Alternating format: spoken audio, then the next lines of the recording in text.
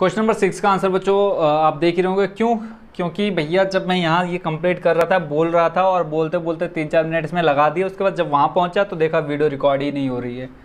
तो sorry but इसका solution अब मैंने कहा मिटा करके दोबारा लिखो इससे अच्छा यहाँ पर मैं दोबारा इसको एक बार बोल देता हूँ। ठीक है? देखो क्वेश्चन जैसे कहा है, एक थैले में केवल नींबू की महक वाली मीठी गोलियाँ, नींबू की महक वाली मीठी गोलियाँ।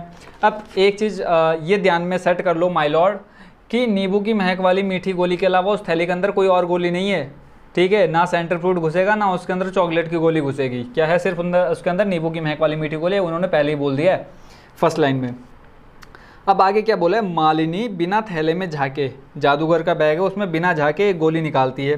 भैया, पहली गोली निकाली, उसमें से देखा कबूतर निकल के आ गया। इसकी क्या प्रायिकता है कि वह निकाली गई गोली संतरे की महक वाली है? अब मुझे ये, अब जैसे इसमें दो क्वेश्चन पूछे पहला बोला, संतरे की महक वाली। तो संतरे की महक वाली, अब आप इसमें ये बताओ मेरे को, उसके अंदर कौन सी महक वाली गोली है? नींबू की महक वाली गोली है। तो क्या उसमें से संतरे की महक वाली गोली निकल सकती है? ठीक है, कोई जादूगर का बैग तो है नहीं वो, कि उसने नींबू की महक की सारी गोलियाँ डाली और उसके अंदर से संतरे वाली निकल रही है। तो जब उसके अंदर संतरे वाली महक की गोली एक भी नहीं है, यानी इस घटना की प्रायिकता क्या होगी? ज़ीरो होगी। क्यों? क्योंकि उसके अंदर सारी गोलियाँ कैसी है? मान लो सौ गोली है नींबू की महक वाली, अगर वो पहली निकालेगी तो भी नींबू की महक वाली निकलनी है, सौ में उठाएगी तो भी नींबू की महक वाली निकलनी है है ना? तो यहाँ पे आप लिख सकते हैं कि क्यों ज़ीरो इसलिए प्रायिकता आ जाएगी उसकी क्योंकि थैले में नींबू की महक वाली गोलियाँ है।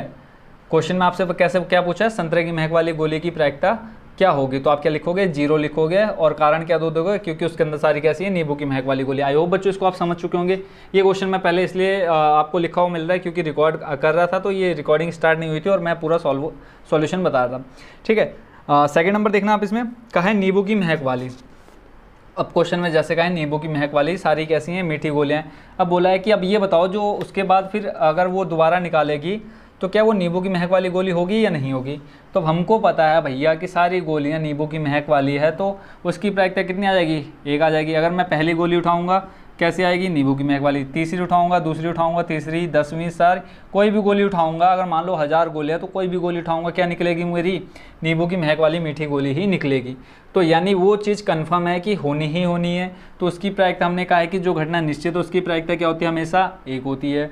जो असंभव है, जो अनिश्चित है, जिसका घटित होना कभी हो ही नहीं सकता, यानी घटना कभी घटित ही नहीं हो सकती तो उसकी प्रायिकता क्या होगी? ज़ीरो।